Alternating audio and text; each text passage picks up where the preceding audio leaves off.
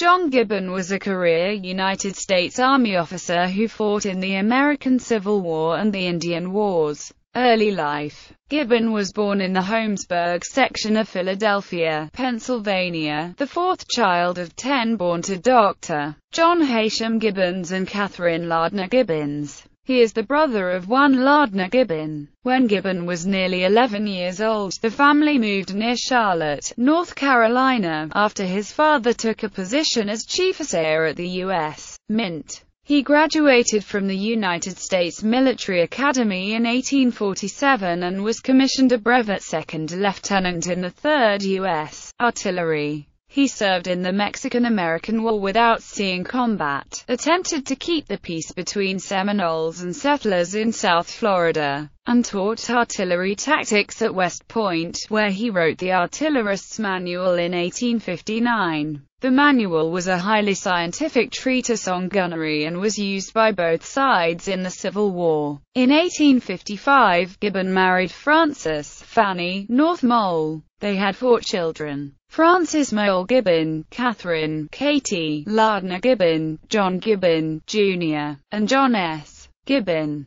Civil War. When war broke out between the states, Gibbon was serving as a captain of Battery B, 4th U.S. Artillery at Camp Floyd in Utah. Despite the fact that his father was a slaveholder and that three of his brothers, two brothers-in-law and his cousin J. Johnston Pettigrew served in the Confederate military, Gibbon decided to uphold his oath to the Union. Upon arrival in Washington, Gibbon, still in command of the 4th U.S. Artillery, became Chief of Artillery for Maj.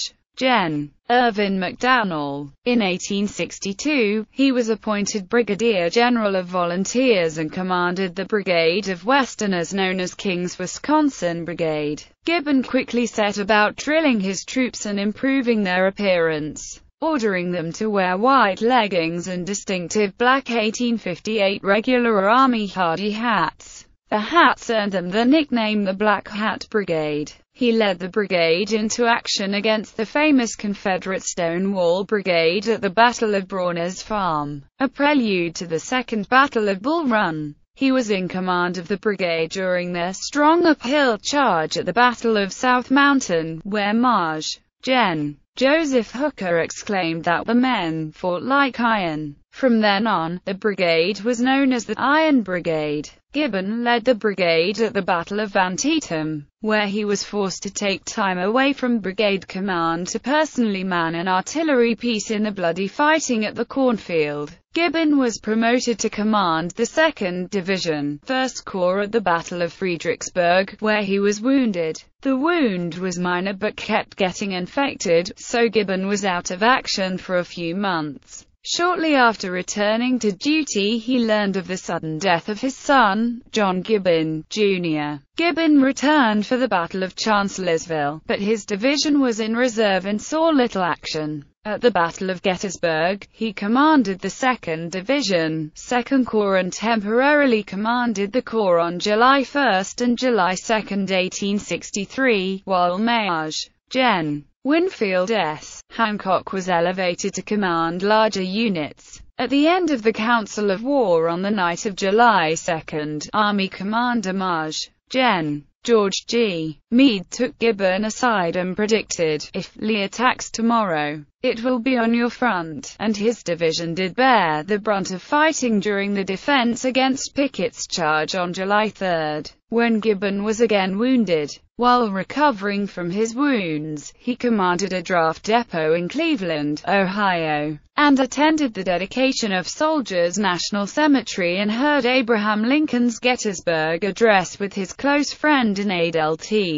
Frank A. Haskell. Gibbon was back in command of the 2nd Division at the battles of the Wilderness, Spotsylvania Courthouse, and Cold Harbor. During the siege of Petersburg, Gibbon became disheartened when his troops refused to fight at Reams Station. He briefly commanded the 18th Corps before going on sick leave, but his service being too valuable, he returned to command the newly created 24th Corps in the Army of the James. His troops helped achieve the decisive breakthrough at Petersburg, capturing Fort Gregg, part of the Confederate defenses. He led his troops during the Appomattox campaign and blocked the Confederate escape route at the Battle of Appomattox Courthouse. He was one of three commissioners for the Confederate surrender. Indian Wars Gibbon stayed in the Army after the war. He reverted to the regular Army rank of colonel and was in command of the 7th Infantry at of the Montana Column consisting of the F, G, H, L of the 2nd Cavalry under James S. Brisbin from Fort Ellis and of his own regiment of 7th Infantry stationed at Shaw, Baker and Ellis in the Montana Territory.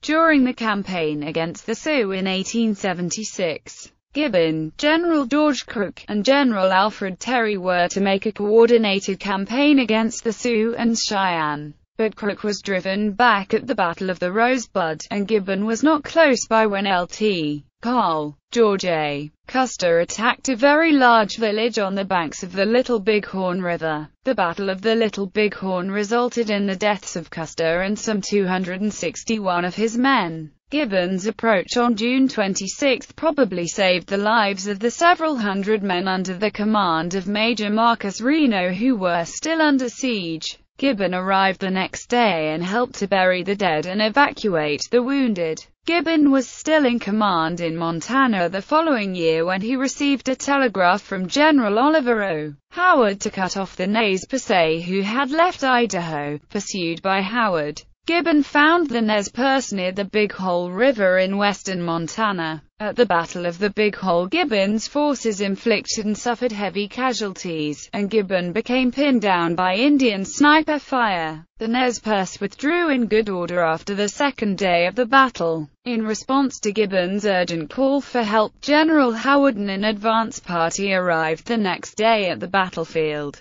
Gibbon, because of his casualties and a wound he suffered, was unable to continue his pursuit of the Nez Perce. Later career and retirement Gibbon served temporarily as commander of the Department of the Platte in 1884. He was promoted to brigadier general in the regular army in 1885 and took command of the Department of the Columbia, representing all posts in Pacific Northwest. He placed Seattle, Washington, under martial law during the anti-Chinese riots of 1886. From 1890, Gibbon was also head of the military division of the Atlantic. Gibbon was required to retire due to age restrictions in 1891. Gibbon served as president of the Iron Brigade Association, and commander-in-chief of the Military Order of the Loyal Legion of the United States from October 1895 until his death the following year. He also gave the commencement address to the West Point class of 1886.